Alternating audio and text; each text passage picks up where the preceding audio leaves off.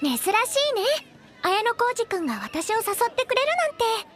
そうかもな。櫛田さん私はあなたのことに興味はないの。へえそうなんだ。意外だね。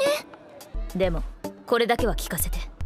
船の上の試験で龍炎君に優待者の情報を漏らしたのはあなたなの。ある程度ストレートに聞くとは思ってたが予想以上だな。